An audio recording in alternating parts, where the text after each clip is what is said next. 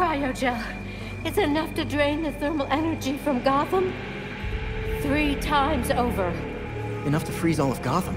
We'll take care of Freeze. Just do me a favor and stay put until the police get here. Tell them what you told me. I will. Again, thank you.